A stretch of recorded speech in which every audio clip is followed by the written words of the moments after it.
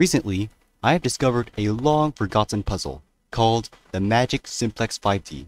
This puzzle is not available on the MagicCube 4D website and neither is it available on any internet archive. So, let me show you how to acquire it for yourself. Now make sure to subscribe to 4D Puzzles in order to receive more 4D puzzles and other amazing discoveries. So let's do it. First, let's go to Magic Cube um 4D. Oh, I misspelled it. Magic 4D, here we are. Now, you scroll down, go to Project Pages here. Now, on this first bullet, go to where you see this link that says here. Like that. Click on him. Press OK.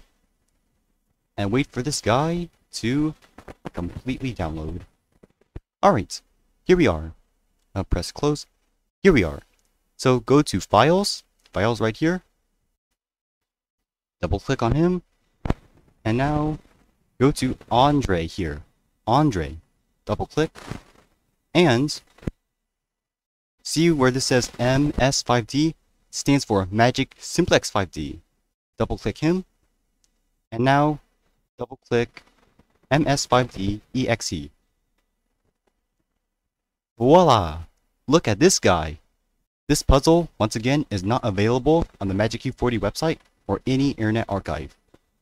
It's long forgotten. Nobody has pretty much ever solved or touched it. So, hmm, let me try to twist this guy. Um.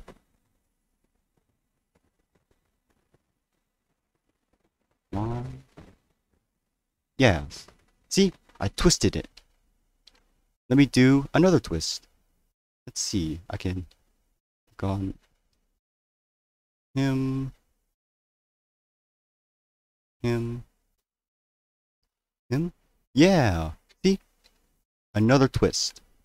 So, I introduced you to this puzzle here. Now, if you have any comments, please put them all in the comment section. Any questions, put them all in the comment section. Make sure to subscribe for more 4D puzzles, and I'll see you in the next video.